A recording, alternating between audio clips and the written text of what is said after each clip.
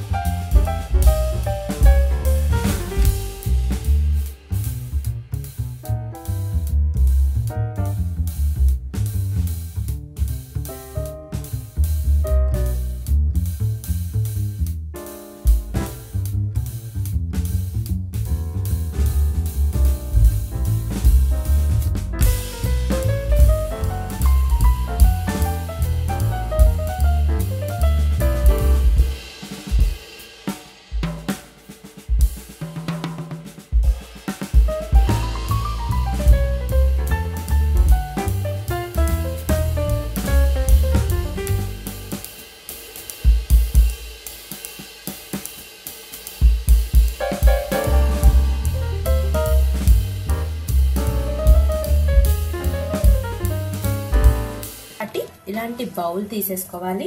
ఈ బౌల్లోకి మీ దగ్గర కేక్ బౌల్ ఉంటే కేక్ బౌల్ అయినా తీసుకోవచ్చు. ఆయిల్ని కానీ నెయ్యిని కానీ బటర్ని కానీ ఇలాగా అన్ని సైడ్స్కి అప్లై చేయాలి. అప్పుడు మనం కేక్ రిమూవ్ చేసుకునేటప్పుడు ఈజీగా వచ్చేస్తుంది. నెక్స్ట్ దీని మీదకి మనం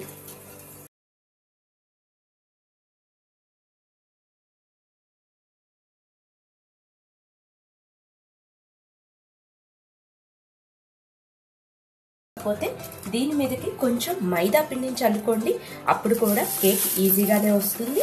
ఇప్పుడు దీని మీదకి మనం టూటీ ఫ్రూటీని యాడ్ చేసుకుందాము.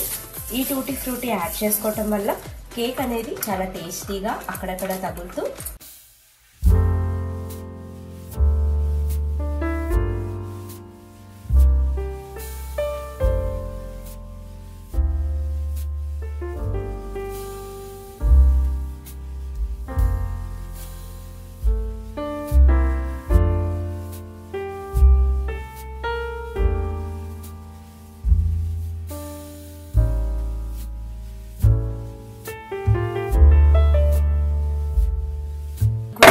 వచ్చేసింది.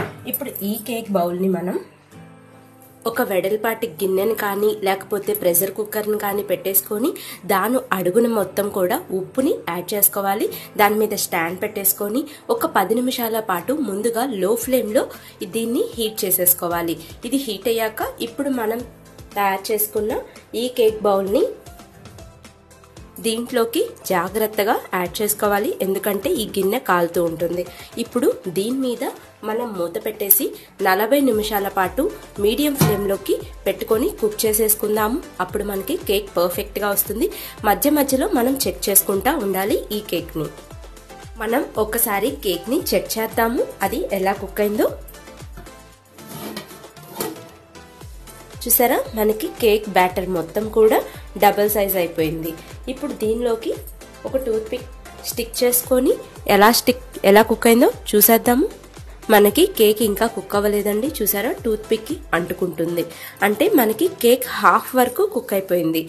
ఇంకొక టెన్ మినిట్స్ పాటు ఇలాగే లో ఫ్లేమ్లో కుక్ చేసుకుందాము. మూత పెట్టేసుకొని మనకి కేక్ ఒకసారి చెక్ చేసుకుందాము. కుక్ అయిందో లేదో అనేది. చూసారా? మనకి కేక్ మొత్తం కూడా పర్ఫెక్ట్గా కలర్ అనేది వచ్చేసింది. అలానే బాగా కుక్ అయినట్టు కూడా తెలుస్తుంది. ఇప్పుడు దీన్ని మనం ఒకసారి చెక్ చేసుకుందాము. ఒక టూత్ పిక్ తీసుకొని దీంట్లోకి ఇలాగా స్టిక్ చేసుకుందాము. చూసారా? మనకి ఏది అంటుకోలేదు. అంటే కేక్ మనకి పర్ఫెక్ట్గా కుక్ అయిపోయినట్టు. ఇప్పుడు దీన్ని స్టవ్ ఆఫ్ చేసుకొని కొంచెం చల్లారాక గిన్నెని బయటికి తీసుకుందాము. ఇప్పుడే తీసుకుంటే గిన్నె కాలే ఛాన్సెస్ ఉంటాయి. మనకి కేక్ మొత్తం కూడా కూల్ అయిపోయింది ఇప్పుడు దీన్ని మనం వేరొక ప్లేట్లోకి తీసేసుకుందాము.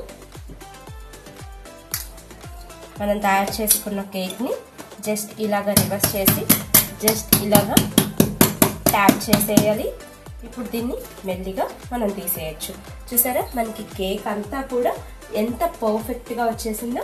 ఇప్పుడు దీనిపైన ఉన్న ఈ బటర్ పేపర్ని మనం తీసేద్దాము.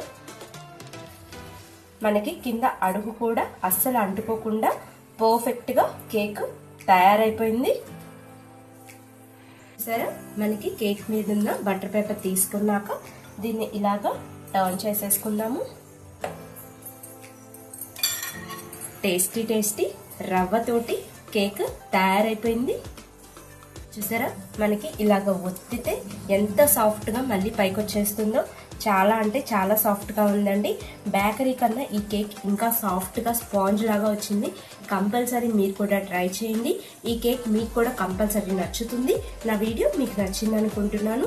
నా వీడియో కనుక మీకు నచ్చినట్లయితే నా వీడియోస్ అన్నిటిని లైక్ చేయండి షేర్ చేయండి. అలానే నా ఛానల్ని సబ్స్క్రైబ్ చేసుకోండి.